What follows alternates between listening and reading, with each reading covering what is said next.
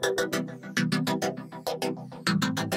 My name is Kaitlyn Higgins. I'm from Walworth, Wisconsin, and I'm a junior. I'm a transfer student, and the reason I chose Nebraska was because of the team, the coaches, and I just felt like I would be a great fit here, and the team made me feel really welcome, and so did the coaches. I'm looking forward to competing with a new team and just having each other's back and being on the competition floor again. It's been a while, so I'm really looking forward to that. I think it's really important to be optimistic and just see the whole picture of things. I know things are really hard right now, but it's not always going to be like that, so knowing that really helps me inside of the gym and outside.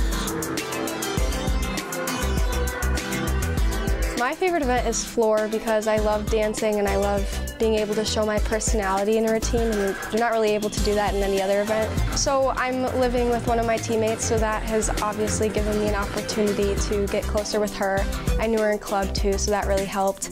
But just with the whole team, knowing from my previous collegiate experience on how to make connections with my teammates, I brought that here and kind of used that.